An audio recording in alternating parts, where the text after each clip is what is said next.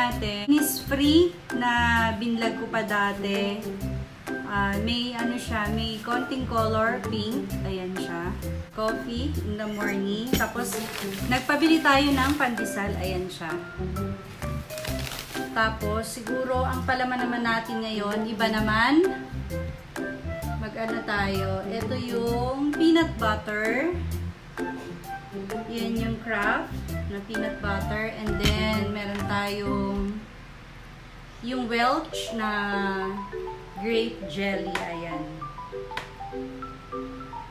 Yan yung ating breakfast. Layo ko kayo para makita niyo ako.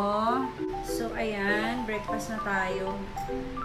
Guys, ganyan na ako sa breakfast. Kadalasan, coffee, bread. Kung hindi gardenian, pandesal, kung ano yung available, kung ano yung meron. Yan.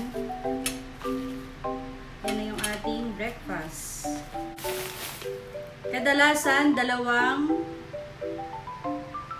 dalawang pandesal lang ako.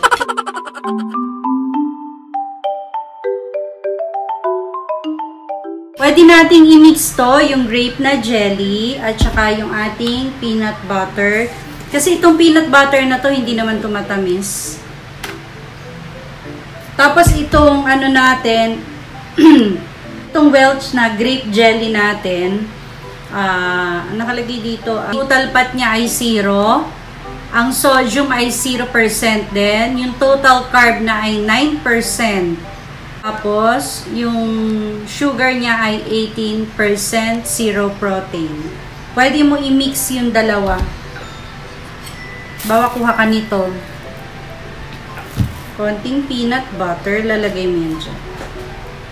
Lapit ko para makita niyo. Tabi natin. Yan.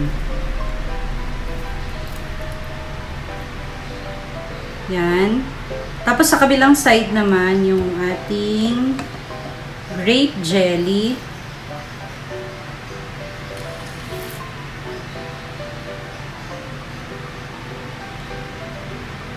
Since matabang yung ating peanut butter, yung grape jelly natin medyo sweet. So, ayan, ganyan lang siya.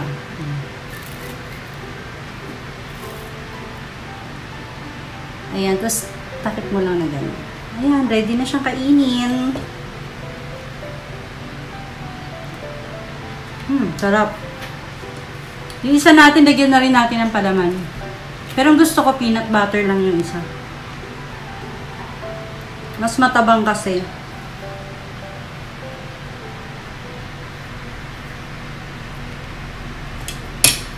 Hindi ako guys masyado sa matamis. Kumakain naman ako, kaya lang hindi ganun karami.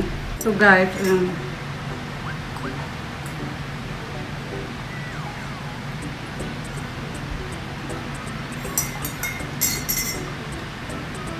hindi tayo gumagamit ng 3-in-1. Kasi ano, mataas ang sugar content nun. Kaya ang ginagamit natin, yung coffee talaga and then creamer, iminimix ko siya. Tapos, ang um, asukal na ginagamit natin ay ito. Yung sweetener na yan, yan ang ginagamit natin. Hindi tayo naglalagay ng asukal. Although, medyo mababa lang yung sugar natin. Yung last test ko ay, pero syempre guys, nagbabago yun everyday ah. Yung last test lang natin ay 93 lang yung ating sugar. So, okay pa tayo kumain na matatamis, pero syempre hindi naman na tayo pabata. So, kailangan mag-ingat-ingat na tayo sa pagkain ngayon pa lang. Ang sarap ng peanut butter with jelly.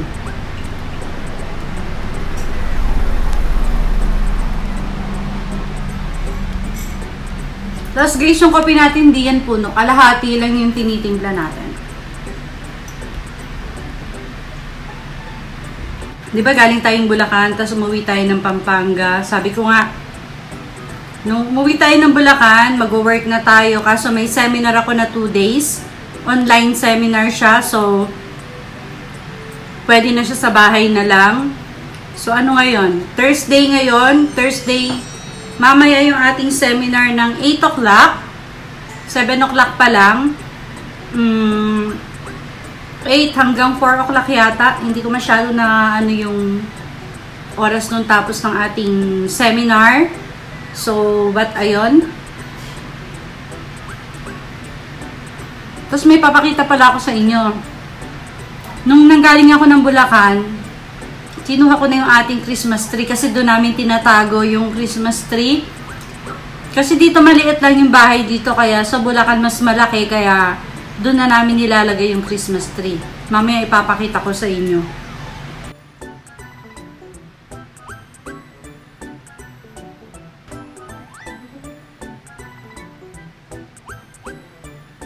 Ah, ipapakita ko na sa inyo yung dala nating Christmas tree galing ng Bulacan. Ito na. So guys, ito na yung ating Christmas tree. Ayan. Actually, ito ay lumang Christmas tree na. Siguro mga ano na to. 13 years and okay pa naman siya. Yan, medyo maalikabok lang siya. Ayan, yan siya. Okay, so, eto na tayo. Aho, anong oras na ngayon? 8 o'clock na. Uh, hindi pa tayo tapos. Napakadami pang kailangan gawin. Pagod na pagod na nga ako. So, ang ginawa ko lang, nag-shower lang ako para at least medyo gumaan yung pakiramdam natin kahit na pagod na pagod na tayo. Ngayon, gagawin natin. Gusto ko namang medyo ma-relax. Alam nyo naman, di ba, pagka medyo nakakakita kayo ng Christmas tree, nakaka-rinig kayo ng mga Christmas songs, ah, medyo, alam nyo na, gumagaan yung ating pakiramdam. Hindi ko lang alam guys kung kayo din ha, pero ako sa experience ko, sa pakiramdam ko ganon. Ah, so, ang gagawin natin, yung Christmas tree natin, katulad ng sinabi ko sa inyo kanina, ito ay lumang Christmas tree lang. Ah, parang 13 years Yes, parang gano'n na siyang nasa bahay. 13 years na siya. So, ang ginagawa lang natin dyan, kaya tumagal siya ng 13 years kasi uh, pagkatapos natin gamitin, i-aayos natin siya uli sa box niya. Pero ngayon, inalis ko na sa box kasi syempre gagamitin na natin. Kaya ayan, tara na! Lagay sa may sulok na yan. Sa corner na yan. Guys, ito siya. Ayan, yan siya. Luma na. Kaya medyo faded na yung mga flower niya. Poinsettia niya, medyo faded na. Hindi pala ako kita. So, ayan. Yung saksakan. Ito yung nasa ilalim. Ay, shucks. So, ayan, ilalagay lang natin dito. Medyo maalikabok pa. Ayan. Bali, apat yung pinakapaan niya, ilalagay muna natin.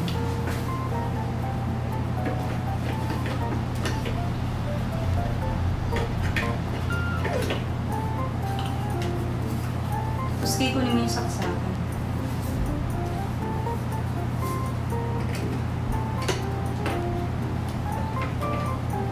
See, may agiw-agiw pa. So, ayan, ilalagay na natin dito sa corner.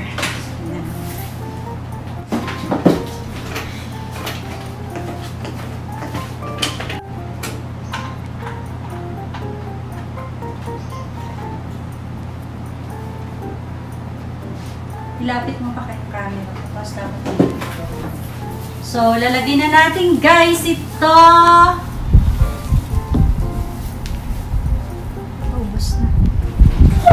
Guys, ilalagay na natin to. Medyo mabigat siya.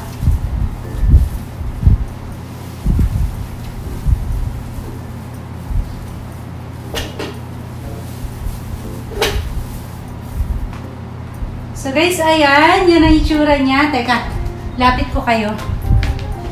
Okay.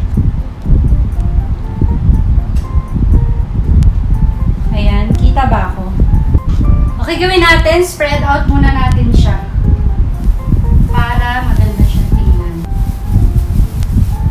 Ibababa lang natin yung pinaka-branches niya. Branches ba tawag to? Parang gumagalaw. Hindi sturdy. Yung ano, madulas yung...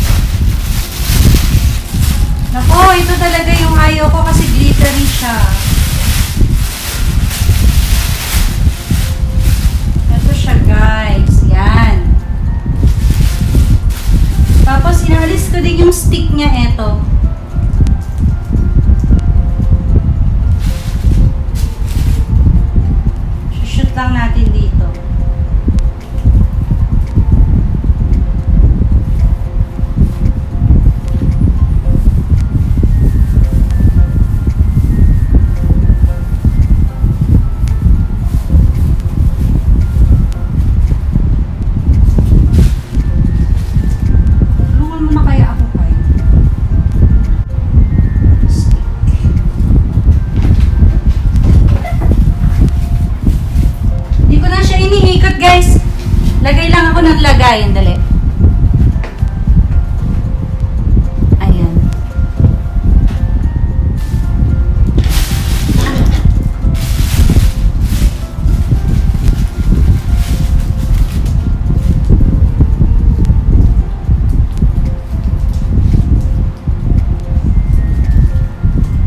$25 isa nito dati pa. Hindi ko lang alam ngayon kung mas mura or mas naging mahal.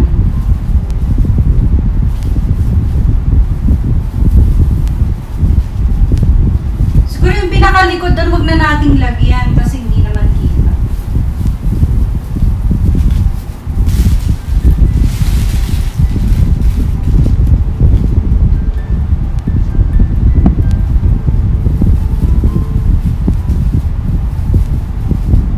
Ganyan na lang natin. Hindi ko na iniikot. Pwede na yan. So, ang motive natin, ah, red and gold.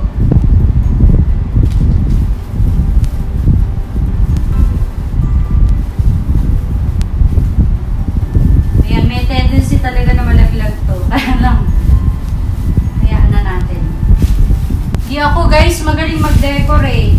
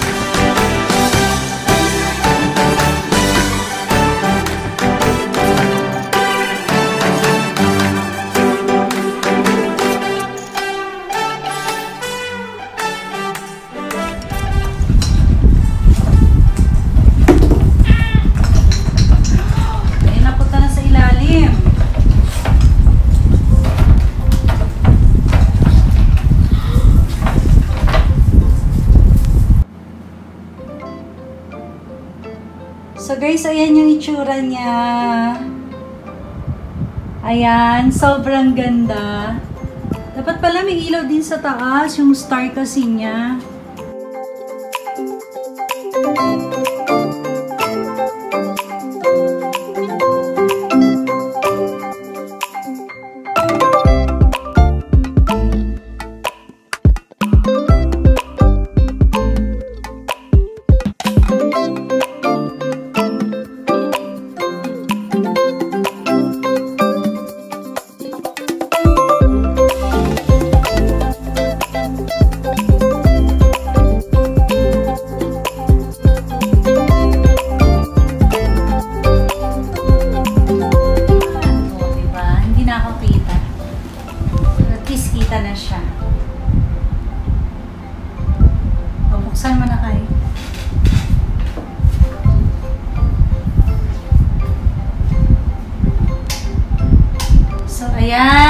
that's all for today. Thank you for watching. See you on my next vlog.